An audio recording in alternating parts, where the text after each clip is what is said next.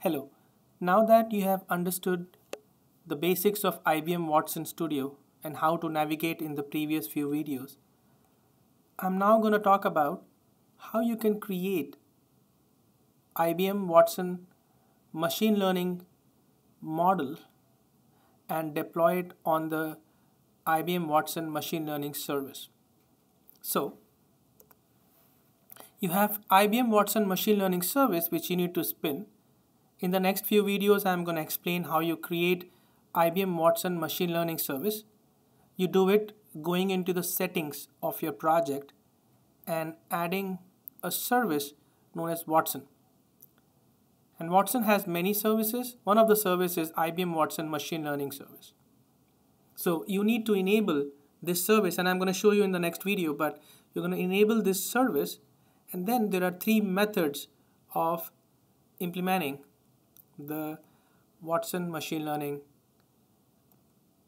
models. So first is SPSS Modeler flow.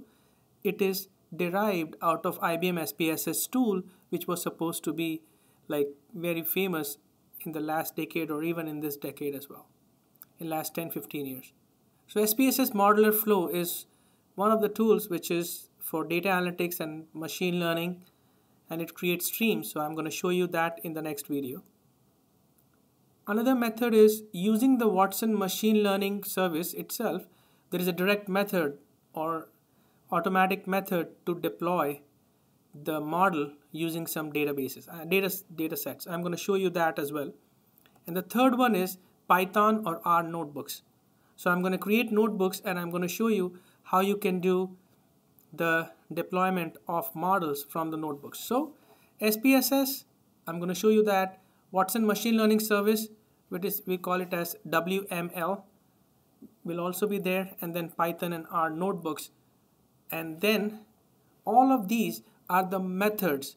And whatever you feel comfortable use that.